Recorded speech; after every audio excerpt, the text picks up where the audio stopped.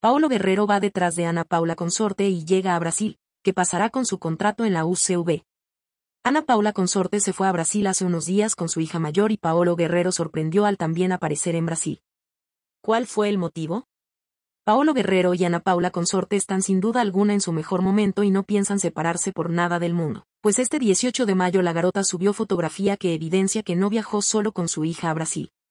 Como se sabe, la pareja dejó la casa que el Club César Vallejo le dio al depredador por una zona más exclusiva y cómoda para ellos y con la reciente publicación de la brasileña se puede notar que el seleccionado nacional marca distancia, cada vez más del club de Richard Acuña.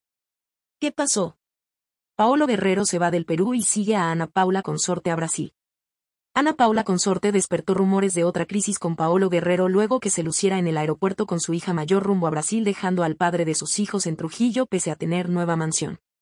Sin embargo, ella no tenía planeado permanecer solo con su primogénita en el país vecino, pues este 18 de mayo sorprendió al compartir fotografía con Paolo Guerrero y sus otros dos hijos nada más y nada menos que en su país natal. Cabe resaltar que ningún medio de prensa informó o logró captar en el aeropuerto al mejor amigo de Jefferson Farfán, por lo que se desconoce cuando precisamente dejó el país.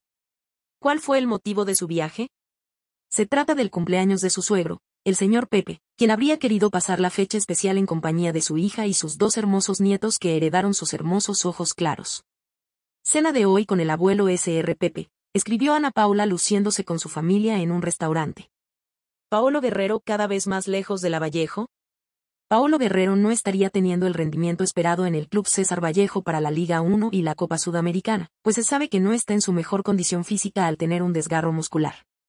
El club contó que el hijo de Doña Peta tendrá dos semanas y media para recuperarse contando desde inicios de mayo, por lo que estaría por culminar su periodo de descanso.